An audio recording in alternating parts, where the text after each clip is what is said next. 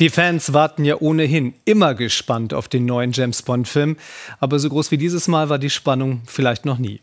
Denn eigentlich war keine Zeit zu sterben längst fertig, die Werbekampagne angelaufen, als die Corona-Pandemie dem Event einen Strich durch die Rechnung machte. Was also tun?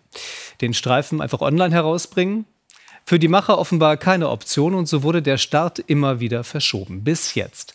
Gestern Abend feierte der neue 007-Film in London Weltpremiere mit Stars und Glamour, ganz wie es sich gehört. Annette Dittert berichtet.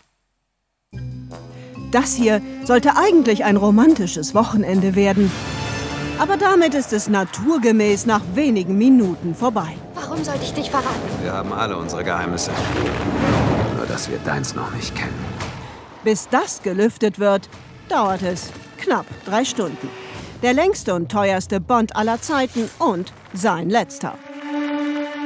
Und so gab es am Set zum Ende der Dreharbeiten emotionale Szenen. Daniel Craig, der nach dem nur halb geglückten letzten Bond Spectre erklärt hatte, er schneide sich eher die Pulsadern auf, als noch einen zu drehen, ihm ist jetzt alles verziehen. Was auch immer ich mal gesagt habe, ich habe jede Sekunde mit euch geliebt. Eigentlich wollte ich nicht sentimental werden. Das mit der männlichen Coolness gelingt ihm aber auch im Film nicht mehr durchgängig.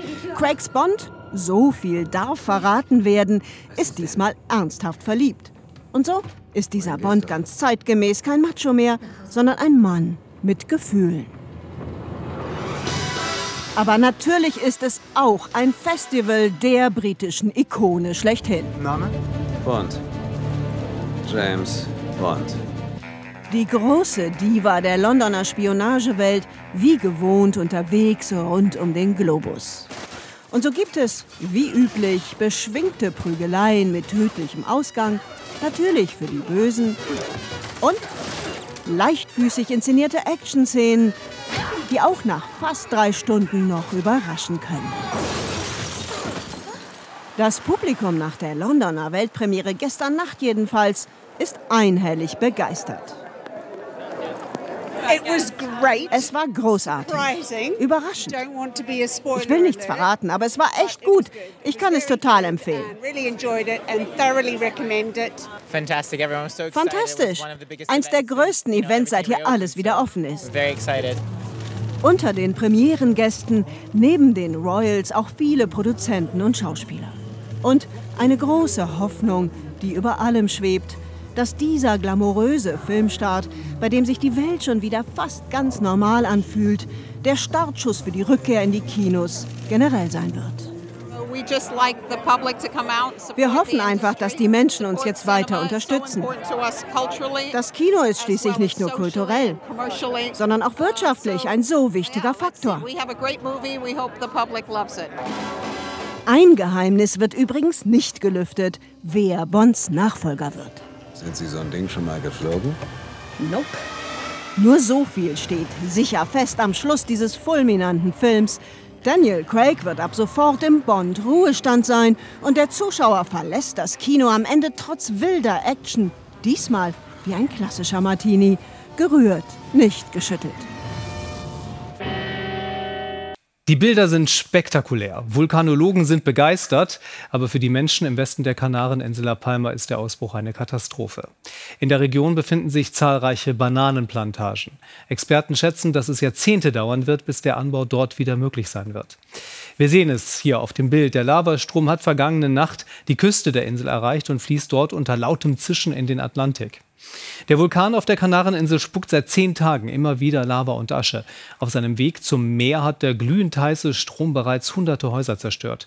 Tausende Menschen mussten sich in Sicherheit bringen. Es zischt, brodelt und dampft. So sieht das aus, wenn 1000 Grad heiße Lava auf den Atlantik trifft.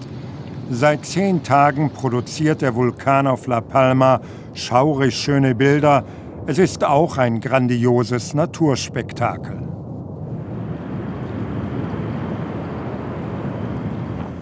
Für sie ist es eine harte und gefährliche Arbeit, die Spezialisten der militärischen Notfalleinheit Rund 180 von ihnen sind auf der Kanareninsel rund um die Uhr im Einsatz. Ständig messen sie, welche Gase sich entwickeln, ob Gefahr für die Bevölkerung besteht. Sie können die Emission von chemischen oder radiologischen Stoffen feststellen und auch eine Evakuierung anordnen. Gerade jetzt herrscht bei den Mitarbeitern dieser Spezialeinheit Hochspannung, denn sie müssen kontrollieren, ob der Kontakt der Lava mit dem Meer für die Menschen gefährlich wird. Denn beim Eintritt ins salzige Wasser könnten sich giftige mit Salzsäure versetzte Gase bilden. Bislang wurden keine gefährlichen Stoffe nachgewiesen, weder Salzsäure noch andere kontaminierende Verbindungen, die eine Räumung von Gebieten notwendig machen würde. In den umliegenden Dörfern gilt eine Ausgangssperre. Die Menschen dürfen ihre Häuser nicht verlassen. Die Bilder, die der Vulkan produziert, sind für Menschen wie Anna Costa nur noch schrecklich. Denn die Lava hat ihr Haus und das der Schwiegereltern zerstört. Nun leben sie auf engstem Raum in einem Provisorium. Bislang haben sie vergeblich nach einer Wohnung gesucht. Die Mieten, die verlangt werden, können sie sich nicht leisten. Ich weine nicht mehr, weil ich so wütend bin. Wir haben so viel verloren, jetzt kommen keine Tränen mehr. Aber so können sie uns doch nicht leben lassen.